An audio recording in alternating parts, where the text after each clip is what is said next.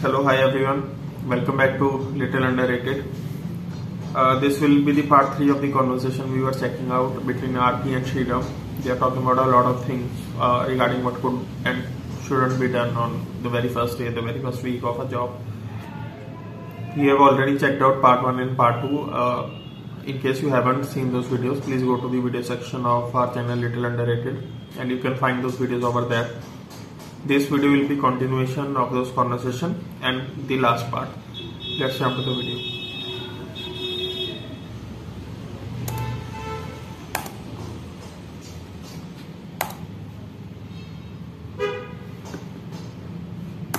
No, no, but I actually, I was thinking, uh, when you're talking about story, I was thinking about a lot of managers I knew who, well, not a lot, a couple who totally fucked this up and were terrible in their first week. Uh, and maybe that's interesting. Like, what are things you absolutely should not do, either as a manager or as a reporter? Like, I as a manager. Uh, I had one person who shall again remain unnamed for posterity, who uh, I think a few of us were hired, and this person said we had coffee, and he said something like, "Well." We'll see how we work out for the first eight months, and if it doesn't, you won't be here anymore, right? And I was like, "Oh my god!" Like that was not very motivating, at least not in the way he delivered. That was like, don't I think? Yes. Um, it took us a while to get here, but I think coming from a place of empathy as a manager, as a you know CEO, founder, whoever you are, but you know this person's new. Egos are a little fragile. Um, everyone goes through imposter syndrome, and uh, it's okay to just like you come from a place of empathy. You don't have to be like, "Hey, you're going to do this. You're going to crush it." Or else you're out you know that's just it, it just reflects really poorly on the culture of the organization because you are right now setting the culture right? Like you're the person that they are like looking up to right now. So i think it's important to just come from a place of empathy and be earnest uh, really want to like help this person be successful. Um, i've generally found that you know when you have managers or peers who really want you to thrive and be successful the entire company moves forward. Yeah. Uh, and it sounds like such a cliche, such a kumbaya thing to say, but you know, it's just it's one of those things where turns out that if if you're able to give them a sense of confidence, they are able to set aside everything else that's like you know nagging away in their heads on like am I good enough and all of that, and really focus on being productive. And when that happens, you can ship stuff faster, you can remove egos, and just like work on things together. So come from a place of empathy and really like come from a place of helping this person be successful and letting them thrive. Um, don't do stuff where yeah i've had a situation where uh, this person who's hiring is like i used to do your job. Oh gosh. um, now we have you. We'll see.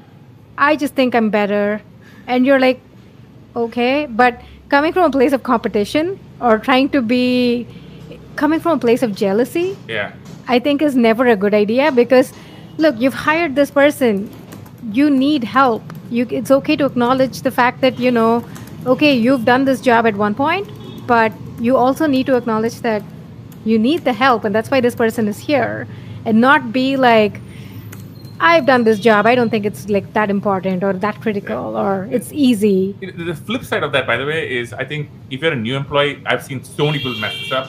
Is you don't want to be the person that comes in and says, "Well, I don't know about you guys, but this is how we did my old job, and True, you know, yeah. and it was perfect over there." Yeah. Uh, and you know, like trust me, like nobody wants to work with a new person who, who's like, "I've come from a better place and I know how to do this already," and Yeah. you folks are all muppets. Like nobody wants to. nobody listen wants to deal with that yeah, and even if it yeah. is true, and sometimes it may be true, but and so I think what you really want to do is really approach every place from first principles Yeah. and understand the dynamics of the place, why they made the decisions they did, and maybe you are right, and the thing that you used to do is actually better. And it Yeah. could be something simple, right? Sometimes, for example, um, you know, like for example, people from Amazon like to write documents in a particular way. People from Facebook or Uber have a particular uh, uh, mindset about data and product. It, it maybe, and there are often like lessons you can bring to bear but nobody wants to hear that the place you came from is you feel that is superior than the, the place that everybody is working in even if that is true so i think coming in uh, being humble feeling like you want to learn the place from first principles and understanding why they do things they, Yeah. they want to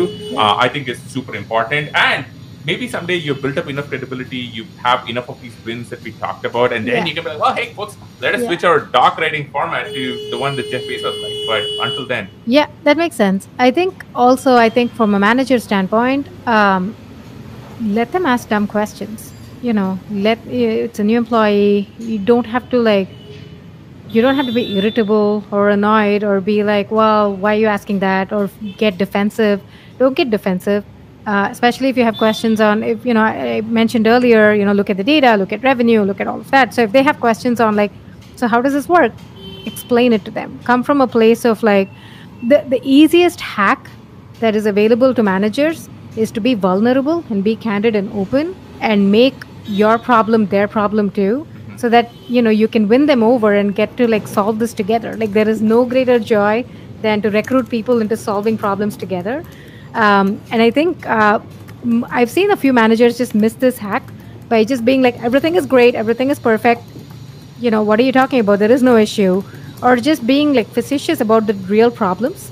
Um, and you don't have to spend all day just shit talking other people or, you know, talking about how miserable you are or whatever. But I just think it's like, it's okay to be a bit vulnerable and talk about the problems that you're having to recruit them into solving them for you. Yeah, and I think well, part of the problem I think sometimes is like you know if you're a report and if you're a new person, your manager may not have listened to this podcast or listened to this and done this, and you're kind of stuck. And it is now on you to figure out how to make up for that. And I think like a few things I think are very key. The first is to really understand what are the rhythms and systems that your team and organization does. Like for example, True. what are the key meetings? Hmm. Is there a stand up? Is there a weekly sync meeting? Is there a monthly product review? You know, whatever it is, figure out what the cadences are. Make sure you at least, you know, just attend them or watch in on them when possible. That's number one. Uh, figure out all the channels like Slack channels, email lists, you know, whatever be they may be. Just join all of them, go read it because you'll get a sense of what is the cultural tone, the language, the things on top of people's minds. So when you're the new person being like, hey, what about you know idea X? You can be like, well, they're actually dealing with something else right now. That's number two. Third part, I think I saw I saw one uh, exec at Twitter do this very well when this person joined the company. Is when you're new, nobody knows what you're doing, and they're like, yeah, I don't know what this person's up to. So send an email like Mm. every week Mm. uh, and you can maybe stop this after a while, but some people do it forever, which is great. And just be like, what are you up to, right? Like, you'd be like, I met X, Y, and Z. Uh, I checked out this code and looked at it, and I think more than anything, it is going to give your manager, your PSP, like, oh, that's what this person is doing, and almost always somebody will be like, hey, you should meet this other person too. They'll always appreciate it because nobody else is doing this. They'll always appreciate it. But send out a weekly email, at least for the first couple of months or so, and it's going to be it's going to wonders for you. Yeah, I think it's great advice. I think uh, you used to do that at Facebook. I used to do that at Facebook. Um, again, I used to take a very metrics oriented approach. I'm like, Yeah. let me tell you where like we are with respect to this product. So basically, a very thing. So- particular format. Do you want to talk about the HPM formats? Yeah, it's called HPMs. Uh, I think it's called Highlight People in Me. Yeah, I, I, what, the, which the- made no sense, but the origin of the acronym is lost in the midst of time. Right, but the intent of it is to send a weekly update on, uh, you know, what are the highlights for this week? Uh, what did you ship something? If you ship, what does it look like? Mm, You know, what general metrics, growth, lack of thereof, all of that, and then problems that you want to that you've encountered that you're fixing. What's the plan for next week? I kind of like, you know, the whole thing is about like a page, you know, in like a one pager style. So it shouldn't be a super long rambling thing. Nobody's going to read that. I like to send it out on Fridays, um, like afternoon, like little over past noon, because I think you know later than that, different time zones, you know, people start like going home, and so um, I want to basically send this out to tell people this is what I've been able to do for this week. Uh, these are the challenges. This is uh, these are the good stuff, and this is what next week's going to look like. And if there are asks, you know, tag the right set of people or be like, hey, does anybody know X, Y, and Z? And it, to what you said, people are always willing to help. Like you will be amazed at when you ask for help, how many people will answer and be like, I don't know that exact thing, but I know this person who might have this thing and would like tag them. And so this just spreads. And also it helps you build your network and, uh, you know, just help you solve problems faster together. Yeah, I think so. Okay, let's see. What else do we have? Uh, oh, promotions. So, Right. why right. do we want to talk about promotions in this context? You know, we talk about uh, an employee joining a workforce, uh, new we first week at a new job kind of thing. I feel like promotion is very similar in the sense of like, even though you've been at the organization, it's a new responsibility. Probably it's like added scope. So um, you've been through a cycle, a, you know, a review process. Your manager comes and tells you, "Hey, congratulations, you've been promoted to this level. You are now in charge of this other thing in addition to this thing." So from the next day or whenever it becomes effective, that's your scope. It's different than what you've been doing so far. So in a sense, this is still a new job. So I think it's still very relevant to talk about it as n- new scope, new job. What do you do there as, as a part of the promotion Yeah. process? Yeah, I think every promotion is basically, like you said, a totally new job. Yeah. And you are trying to figure it out, and the people around you are trying to figure it out. Yeah. So I think it's almost critical to re-establish everything that you did as in a starting. For example, every time you get like a big role change, for example, you might be taking over a team or taking over a project. You want to go meet everybody, just like we did in the beginning. Be like, hey, I'm now the person doing X. Uh, it's been a while, but Lord get chat up. Everyone will appreciate it. They'll probably have something they need. They may not have been able to ask you when you were in your old job, but now you run the team, or you're a VP, or you're a manager. And now, they, oh, I can now ask you for this because you have more influence. Mhm. Um, I think that is very key. Also, your relationship with them would have changes. They might be more of a peer now Yeah. than somebody, you know, sort of the upper echelons of the organization. Yeah. And you, that dynamic can uh, shift also. Uh, is also going to give you a different sense of the organization because you know have like the levers you can pull that you're not able to uh, before. So I actually, by the way, I think one of the failure traps that I think people run into with promotions, they don't do this, and they treat it like as a, a version of their old role. Mm. Uh, especially when you go from individual contributor to a manager, which is Mhm. maybe a whole other podcast we can do Yeah. and then they fail because it's a totally different job. They haven't re-established relationships. The expectations have totally shifted, Yep. and they just went in blind. They're like, "Well, you know, I'm just going to work harder, and I'm going to, you know, have a different title and paid more." And that is never. Do you almost think you should treat promotions as if you've quit that job and joined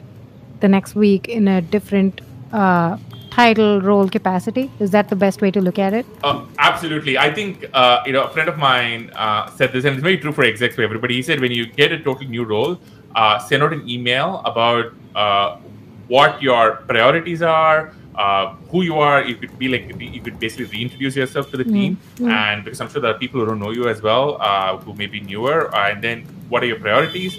And then just be consistent, right? And they'd be like, "Oh wait, you know, this person used to be an engineering lead, but now they're running this whole organization, you know, Right, and right. maybe I need to talk to that person." So I would say theater is a total transition into something totally new. Mhm. And the real mistake you can make is to assume it's your old job, and people think of it as your old job, and it's not. That's not the case at all. That's right. I think for you to be comfortable enough to do that and communicate with everybody else as a part of the promotion process, be very clear and get that information from your manager on what does this promotion mean? And in the sense of does your title change? If yes, what, when, when does it become effective? Does your reporting structure change? Do you have more reports? Uh, do you have like adjacent orgs that are now going to report to you? What does the promotion really look like? But also really understand what does it now mean to be successful in this new role Right. a lot of people kind of miss that because they kind of say, oh, well, you know, my title is now senior, whatever. But great, what does it mean to be successful in this role? And uh, oftentimes, uh, you know, if it's a big company, you'll have a ladder and you're a part of this structure.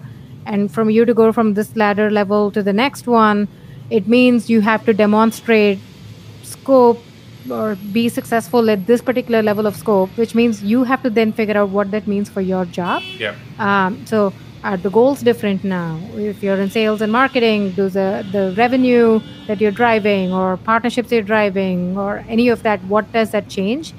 Uh, is it an amplification or is it completely different? So Yeah. be really clear about that. Yeah.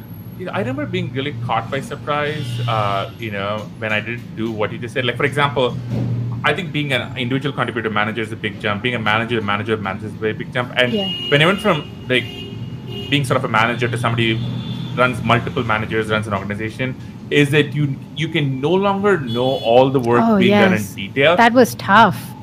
and it's really messes you up, especially if you cannot really pride yourself on knowing all the details. And the second part of it is people will now interpret what you say without telling you about it. You almost have to do internal press to be like, well, this is what I said and this is what I actually mean, because otherwise you'll be surprised how often somebody would come, I heard you said X in this meeting, and you know, I thought this meant Y for my team, and they're upset at you, or they go do something, and that really surprised me because that was not the case when I was running a team of like a handful of people, and I knew everybody myself. Yeah, I saw that firsthand too. When you would go from managing a few individual contributors to managing managers, every communication becomes lossy mm-hmm. in the sense like uh, what you tell you, you know somebody else when they tell other people some of the packets get lost, so to speak, and uh, and then you're like, no, no, no, and you know, I, a couple of times I had to go back and be like, that's not what I said, or that's not what I meant, and you know, course correct and like set the strategy again, and like make it really clear that it was not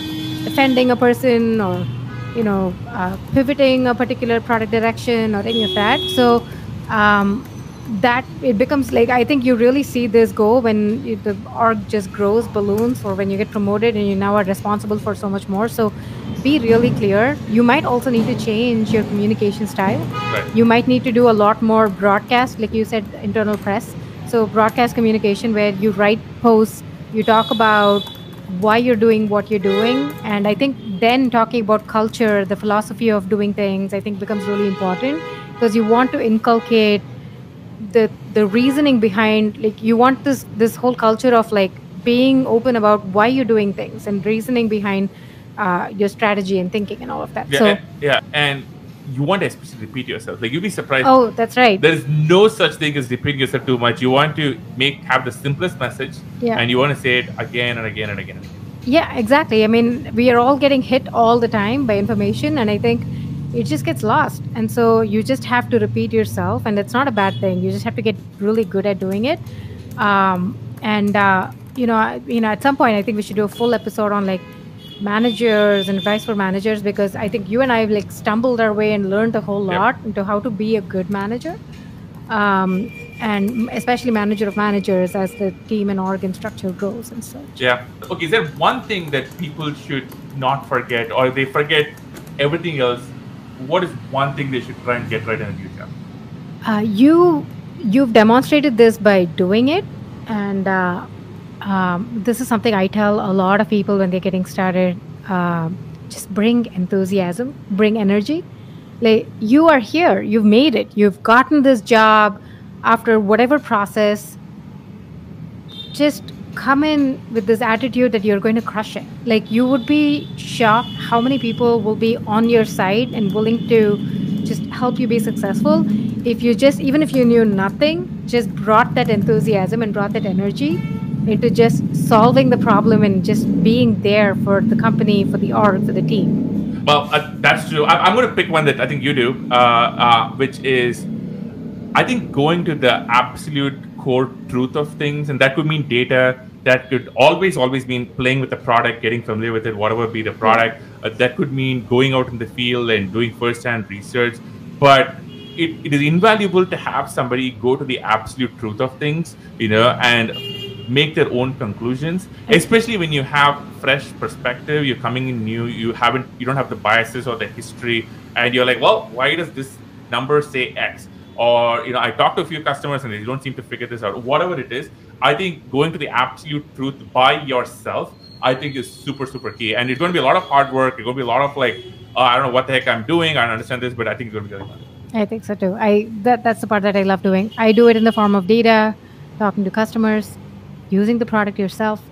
Uh, do it from a first principle standpoint. Don't do it from like place of skepticism or being cynical about things, but really do it because if, if this whole world didn't exist and you had to build this from scratch what would you do? Like really come from like first principle standpoint and like come with an attitude of just wanting to learn and being curious. Yeah.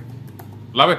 Well this was great. You know this is really fun. This, this is super fun. Uh, well i mean i hope this is fun for you folks. And if you're watching listening to this let us know. Drop a comment or send us a dm uh, tell us about your experiences yes. with your first job. Yeah i mean how was your first job like? How was the first week at your first job like um, and uh, if you are a manager, especially, did you do specific things that made it easier for a new person to come join and be uh, part of your team? Uh, we would love to know if anything that we missed, just add it to the comments. but also if there are um, things that you found really useful um, and uh, or if you disagree with us in any of these you know that might Yeah. also be true just let us know we'd love love to hear from you Yeah, and if you have questions about stuff you're going through in your job, you know, and you know, Yeah. and which other people might also be going through, send us in. We're going to try and do more of these. It'll be fun. But till then, thank you so much for Thank listening, you. watching, subscribe. Thank you. Bye bye. It was a great conversation. Anyone who is working in the corporate, irrespective of what level he or she is working on, uh, I think this conversation will be really enjoyable uh, and learning as well. Uh, we'll keep on checking these kind of useful informations. Uh, till then, please subscribe to our channel Little Underrated, and I'll see you in next video. Till then, take care. Bye bye.